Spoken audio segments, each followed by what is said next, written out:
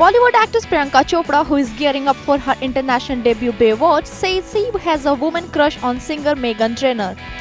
The Dostana actress took to Instagram to share a photograph from the Billboard Music Awards in Las Vegas, held on May 22, and wrote, This girl is my woman crush, Meghan Trainor. You slayed at the BBMAs tonight. More power to you.